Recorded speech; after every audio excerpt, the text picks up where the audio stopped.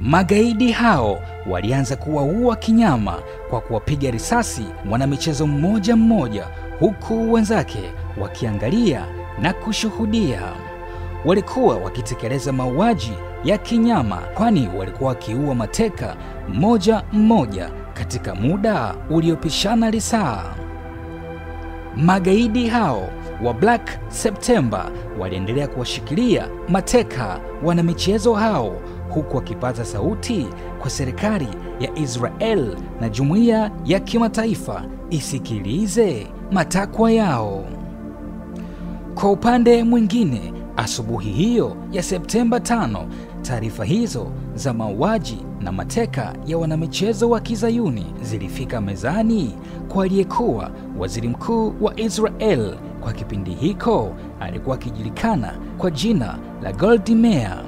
Taarifa hizi zilimstua sana na kumfanya kumbuke unyama wa holkasti waliofanyiwa Waisrael na serikali ya hitra Kwa haraka, Bi Meir aliweka tukio hilo la munichi katika kundi la matukio ya kigaidi na aliona kuwa suluhu ya kukabiliana na tukio hilo haikuwa nyingine bali ni kulipiza kisasi kwa wote waliotekeleza unyama huo. Bila kupoteza muda, meya alifanya mawasiliano na Bwana Zamir aliyekuwa mkurugenzi wa taasisi ya ujasusi Spy Chief iliyojulikana kwa jina la Mossad. Hakuishia hapo, kwani pia alifanya mawasiliano na General Aharon Yariv aliyekuwa mkuu wa kitengo cha ujasusi wa jeshi military intelligence, ili kuona kama kuna uwezekano wa kuokoa mateka. Ilipofika majira ya saa nane mchana wa siku hiyo, tayari Zamiri alikuwa ameshatua jijini Munich kuomba kutoa msaada kwa serikali ya Ujerumani kukabiliana na hili tukio. Bila kupoteza muda, akapelekwa katika eneo la tukio ambako mateka walikuwa wanashikiliwa.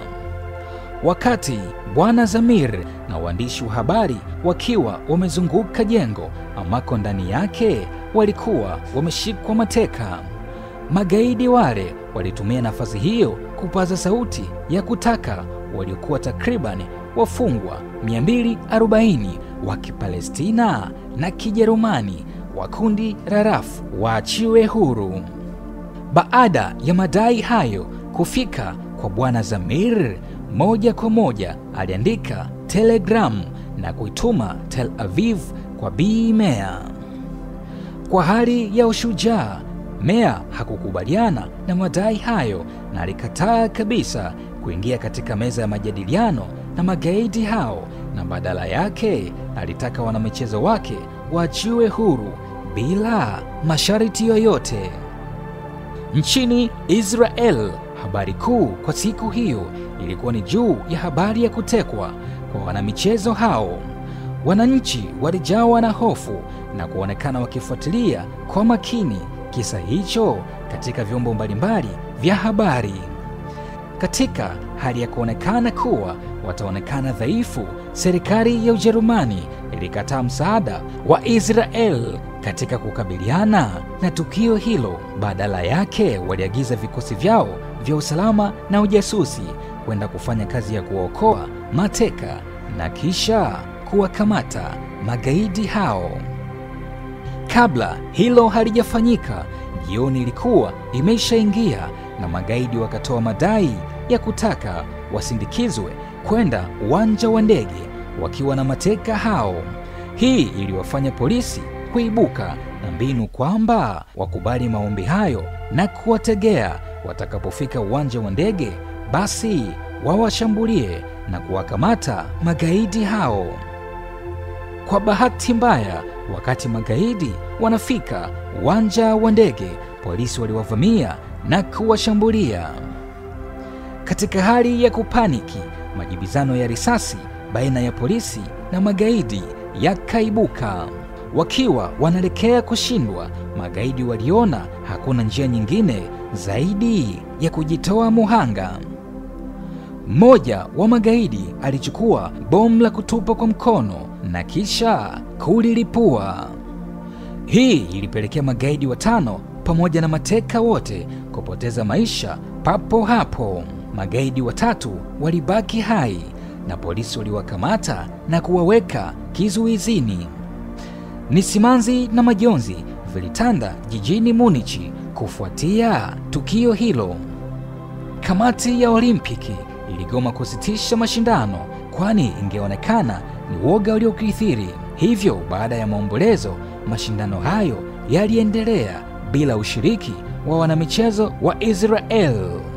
Wanamichezo wa Israel waliosalimika walirejea Israel na simanzi. Wakati magaidi wakishangilia ushindi huo nchini Israel, Bimea alitisha kikao cha siri cha wakuu wa vyombo vya ulinzi na usalama. Waliunda kamati maalum walioipa jina la Committee X, kiongozi wake akiwa ni mkuu wa kitengo cha ujasusi cha jeshi la Israel, Military Intelligence. Huyu si mwingine ni Aaron Yariv. Kamati hiyo ilibuka na jenda ya kulipiza kisasi cha unyama waliofanyiwa, ama kwa lugha nyingine waweza kusema terrorizing the terrorist. Bwana Yariv ni muumini wa kulipiza kisasi kwa njia ya kimya kimya na kutojulikana, quiet and clean revenge. Njia hii ilikuja kuridhiwa na kamati hiyo, kwani ndani ya miezi miwili toka tukio hilo la mateka wa Olimpiki ilitokee, Wapalestina waliteka ndege ya shirika la luf hansa wakidai kuachiwa huru kwa wale magaidi watatu. Serikali ya Ujerumani ilitii sharti hilo na kuachia magaidi wale. Kitendo hicho kilifanya Israel ione haina mshirika na hivyo kupanga kulipiza kisasi yenyewe kama yenyewe, tena kimya kimya, bila kutambulika, quiet and a clean revenge. Committee X ilichagua kikundi maalum cha mashushushu wa Mossad ambao wangekamilisha kuwatafuta popote walipo wafanikishaji na washiriki wote wa tukio lile la Septemba 5. Ndani ya Mossad, kazi ya kukusanya taarifa za wahusika ilianza huku Bi akipewa taarifa ya kila hatua, tena kwa ukaribu mkubwa. Katika taarifa hizo, jina la Ali Hassan Salamehe likaibuka kama ndo mpangaji mkuu na mfanikishaji wa tukio hilo. Baada ya taarifa hizo kuibuka, Meya alichagua jasusi mkongwe wa Mossad. Huyu si mwingine bali ni Mike Harari kuongoza timu ya mashushushu wenzake waliochaguliwa ili kufanikisha lengo hilo la kulipiza kisasi. Majasusi hao waliondolewa official links zote ambazo zingeweza kuwahusisha na Israel pindi watakapostukiwa. Hivyo walipewa pasipoti za nchi nyingine na nyaraka za mataifa mengine kwa ajili ya utambulisho. Mike Harari alichagua jiji la Paris kama makao makuu yake ya kuendeshea operesheni hiyo. Alikaa Paris na kujifanya mfanyabiashara kwa jina la Edward Lasky. Hapo alipanga vikosi kazi vyake kwa ajili ya kutekeleza visasi. Makala hii itaendelea.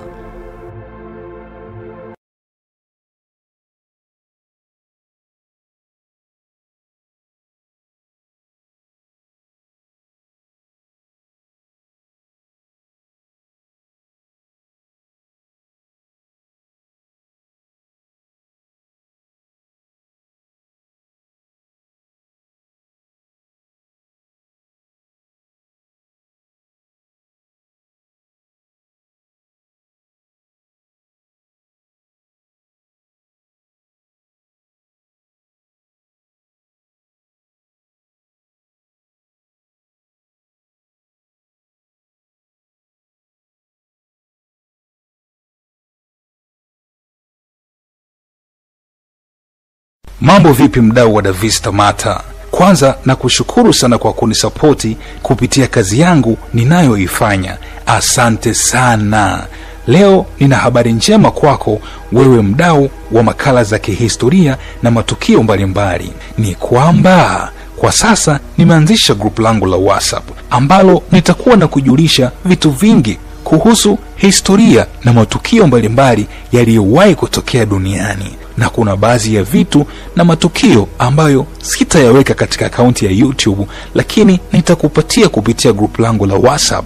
Ninakukaribisha sana, na kwenye grupu letu hili utakuwa unachangia kiasi kidogo tu kwa mwezi ambacho ni shilingi elfu mbili mia tano kwa mwezi mzima, yaani ni kama umechangia 625 kwa wiki. Ninakukaribisha sana, karibu tujiunge, tujue tumetoka wapi, tupo wapi na tunaenda wapi. Unaweza kuwasiliana nasi kupitia namba hizi 0672 92 30 92. Karibu sana na asante sana.